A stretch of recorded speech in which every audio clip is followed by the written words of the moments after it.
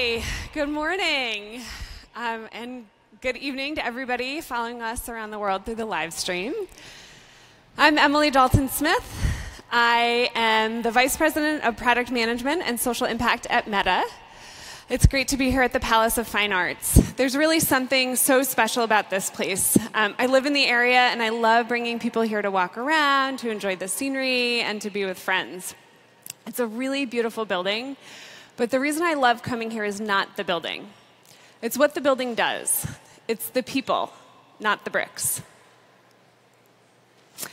And I'm also a mom of two amazing kids up here with their mouths very wide open, Finn and Lila. Um, I'm the daughter of two very dedicated public servants, which as a teenager was incredibly embarrassing, but it was a great way to learn how much power people have to shape their communities.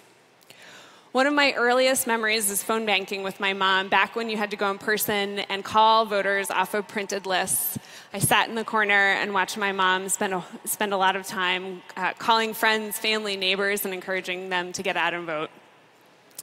My parents actually both volunteered. They sat on my city school board, they brought my sister and me along to clean parks. They grew tomatoes in the community garden. They rescued dogs, cats, and lots of squirrels. And because of these experiences, I spent most of my early career working on public education and helping kids get to and through college, especially kids from first generation and low income families. I also grew up in a really diverse area and did a lot of tutoring and mentoring. So I got to see what happened when kids had opportunities and what happened when they didn't.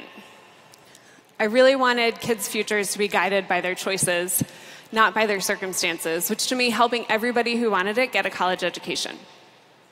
So I left my early jobs working in e commerce and I went to work in education. I worked at Arizona State University and at the Bill and Melinda Gates Foundation before coming to Meta.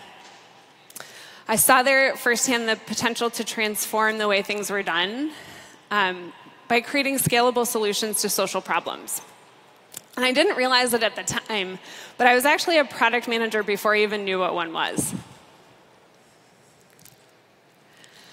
So now I'm the head of social impact at Meta. Fast forward. Um, and it's my job to see that our products create progress on social issues.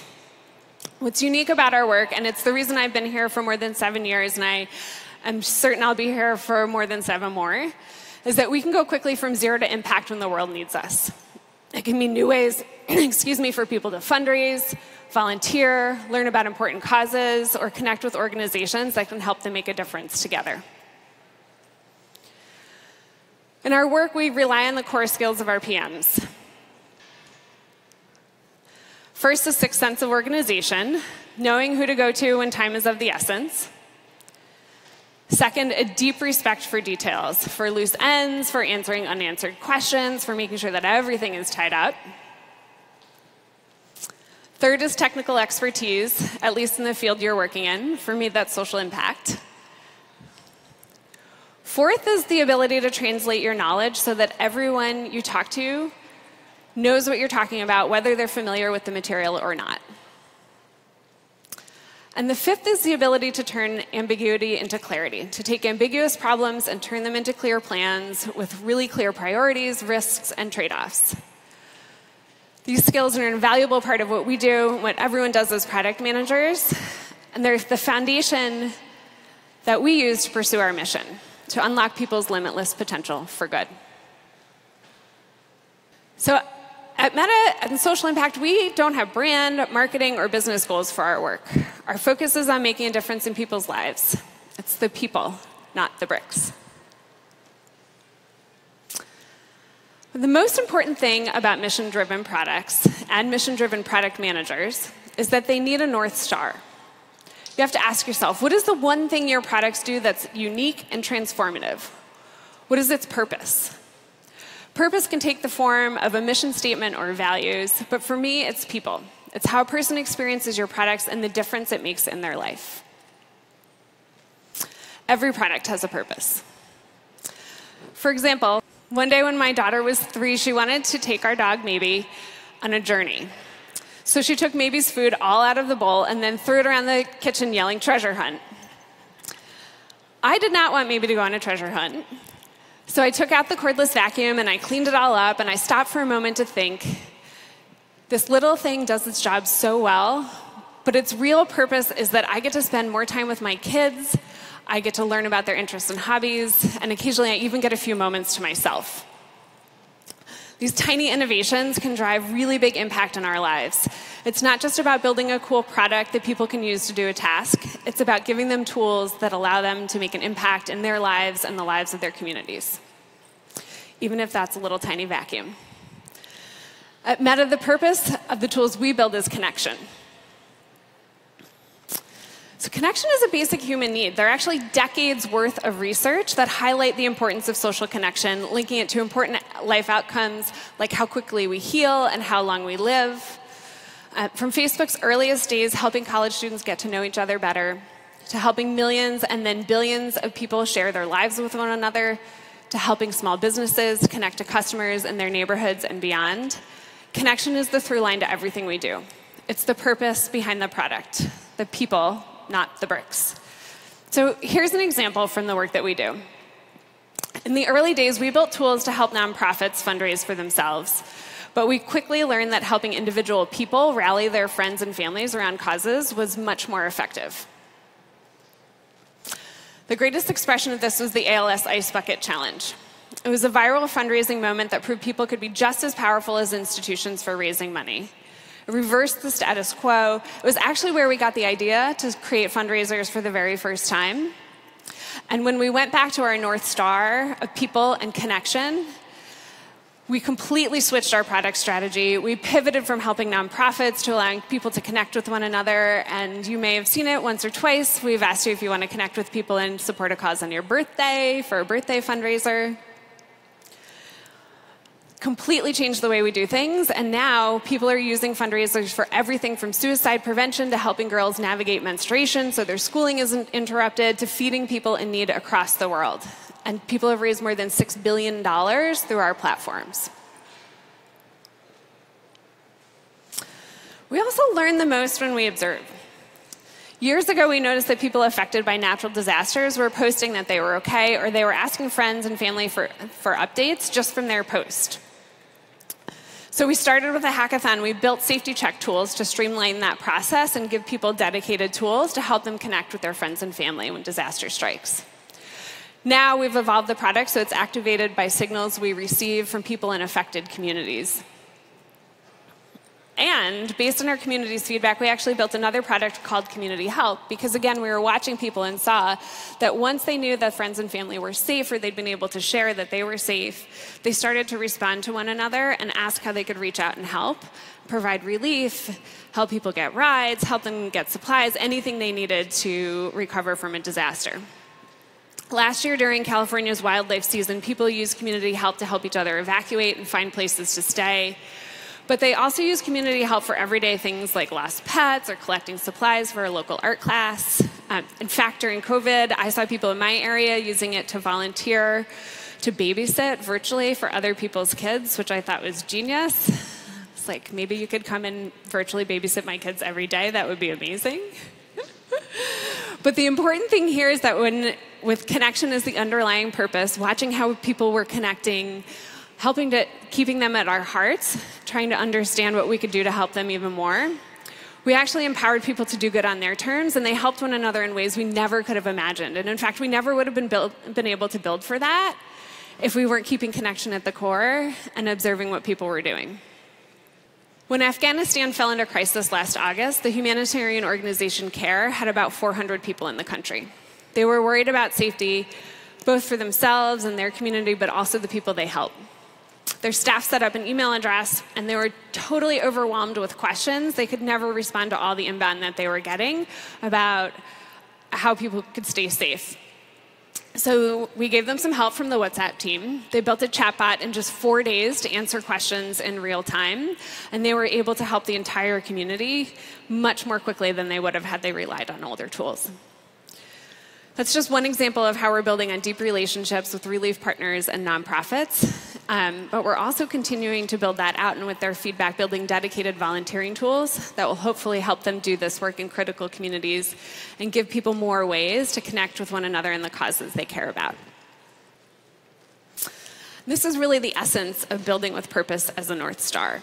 For us, it's connection, watching the connections that people have, understanding the connections that they make and the connections they'd like to make, all serve the purpose of enabling opportunities for people to help their friends, their family, and their community, and they make better products as a result.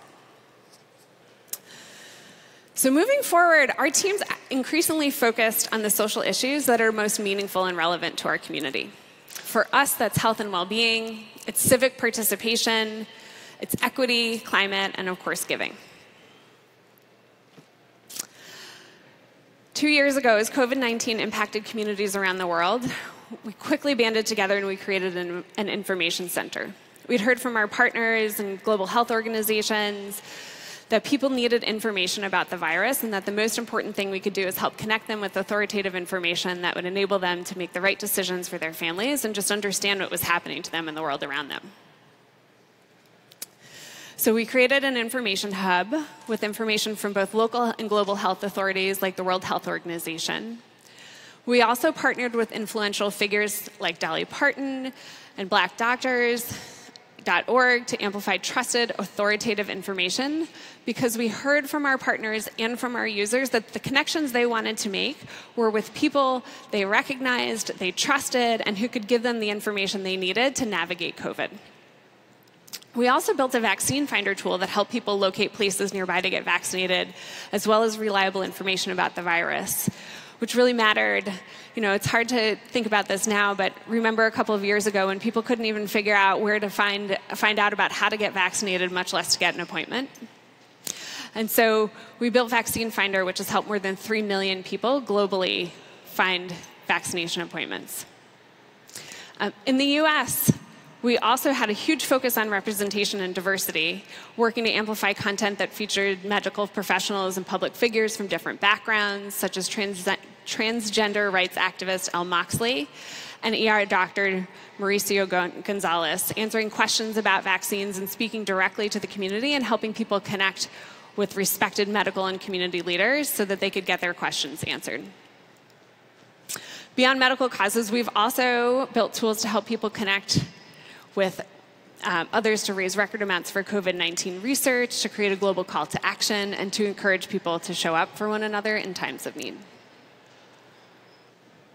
In civic participation, we've long had a huge focus on helping people get out and get information about how to vote and connect with local authorities around voter registration and participation.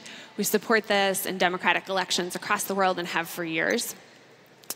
As we were navigating COVID, one of the things we heard time and again from both our partners and from our users is that they wanted to connect with people to get information about how to vote and register in the 2020 election, and specifically that they wanted to understand what it meant for them during COVID.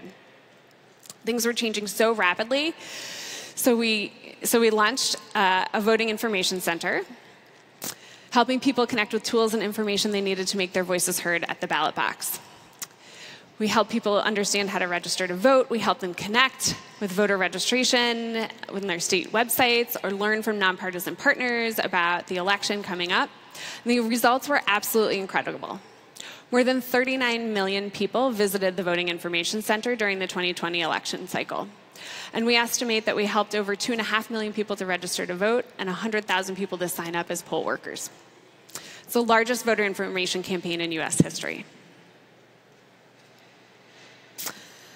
We also want to make sure that our products are accessible to everybody and that we focus on equity when we build. This is a newer area for us. Um, in 2020, we dedicated teams across the company to helping ensure our products are designed for diversity. We're testing ways to build with equity and diversity in mind from the start, guided by experts and from feedback from diverse communities. So, for example, one of the things we heard was that creators and business owners don't always get the credit for the incredible things they do and that this was especially acute for people who had come from diverse or historically underrepresented communities and for people who were just trying to get their start and were trying to build up a following and have people understand what their work was and be represented all the places it was showing up, not just by the final creator who, who posted, especially for work behind the scenes. So we want to make sure that creators can not only create fascinating, impactful content on our platforms, but get paid and get credited for their efforts. So, with the help of experts, we built enhanced tags on Instagram, which allow creators to get credit for everything they do and to tag the entire community of people behind their content. We're constantly testing efforts like that to ensure that our products work for everyone, and we work closely with experts in equity and diversity to think about how we design for diversity from the start. We do that everywhere from testing our machine learning models to building ta this tagging system to thinking about how we can contribute to research uh, over the next several years. The early, very early, but the results show that we can create wins for people and for our business. And we've seen that our products and our users really benefit when diversity is built from the beginning. So I want to talk a little bit about a bigger cause. So, keeping our North Star in mind and thinking about people con- and connection and thinking about the information that people are, are hungry to connect to and how we can help amplify that. We think about global impact a lot when we're developing our products. One of the incredible things about the scale we have is that we have to think about the entire world and we can find ways to connect people to the greater good, including the greater good of our planet. We've recently added fundraising to Instagram Reels, empowering creators to use their talents to help causes locally and globally. And we're constantly improving our Climate Science Center, which has seen more than 200 million visitors to get information about climate science so far. As a company, we've already achieved net zero emissions across our operations, and we've set a goal to reach it across our entire value chain by 2030. And we announced that we joined the Frontier Initiative with Stripe, Alphabet, Shopify, and McKinsey, a $925 million advanced market commitment to purchasing carbon removal technologies. So we'll focus more on climate change in the near term and on creating tools that help people build a sustainable future and engage their communities. And finally, a little bit more on volunteering and fundraising. I mean, since our earliest days, our products have helped people connect to people all over the world in times of needs. We have this incredible opportunity. Every day we get to be with people through their highest highs and their lowest lows and everything in between is people donate to causes to celebrate friends' birthdays. They help people after natural disasters, often reaching out to help strangers, even welcoming into their homes, or helping small businesses through the pandemic. There are ripple effects of generosity and compassion around the world. We know that every dollar counts for charities, so 100% of what's raised on Facebook and Instagram goes directly to the nonprofits being supported. One of my favorite aspects of our fundraising tools is just how accessible giving has become. Our goal is to be there when people when people have need and to be with them through those times of need. And you see that and even the size of our donations. Most of them are under $25, showing that the donations really come from everyday people donating however they can, whenever they can. One example of this is uh, the story of Sunflower of Peace, which is a nonprofit started by a Ukrainian woman living in Boston. Sunflower of Peace provides backpacks with first aid equipment to frontline medical workers in Ukraine. They started fundraising, and earlier this year, a single fundraiser on Facebook raised more than $1.3 million for more than 19,000 donors to send frontline medical equipment to Ukraine. Whether it's through fundraising, volunteering, or engaging with their neighbors through community help, our products help people connect through their generosity. Looking ahead, my goal is to, is to raise the bar for social impact overall. We're doing this by evolving our products, by focusing on key issues that matter most to people, and ensuring we have input from a wide range of stakeholders, from experts to our community to community leaders. We know that we can drive more community action by empowering people to share their time and, more importantly, their talents on everything from helping others to starting new business to navigating life events. And we also know that people are looking to be more informed, engaged in the issues they care about. So we'll continue to evolve our approach here keeping connection at the core. To scale our impact, we also partner with some of the world's leading expe- experts to inform our product strategy and direction. And this is never something that we can do on our own. So, one of our greatest successes, and I think one of the ways that we'll raise the bar for ourselves, but for everyone working in social impact products, is by continuing to work with experts and sharing our learnings broadly. But before I go, I wanted to end on one more story about products and purpose that's meaningful to me. So this is Jessica Davenport and her husband Kyle and their two kids, Cruz and Paisley. You can see them smiling at the beach. Cruz and Paisley were both diagnosed with SIOD, which is an incredibly rare condition that weakens the kidneys and the immune system.